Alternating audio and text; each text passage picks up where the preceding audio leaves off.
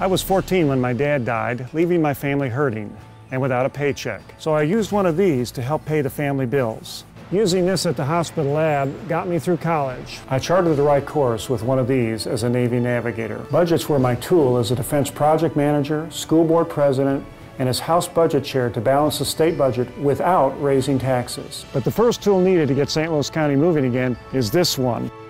Rick Stream is the change we need for county executive.